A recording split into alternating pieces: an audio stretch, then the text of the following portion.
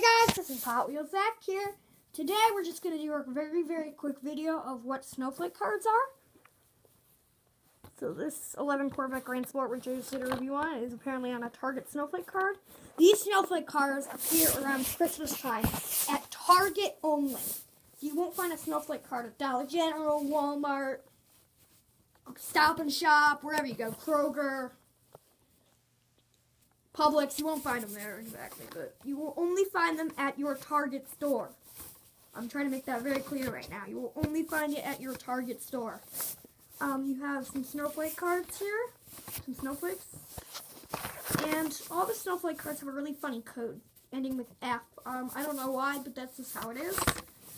I think that's just a silly way, but this is 2016 V-Case on snowflake cards. So snowflake cards are just I don't know if I want to call it limited edition, but like special edition holiday snowflake editions that appear in Target around Christmas time in the holiday season. Um, so these are pretty popular. Um, people really like these. These are worth about a dollar more than any other basic car. So if you think about it, a car with the snowflake card, let's just say you're talking about, I don't know, uh, let's see.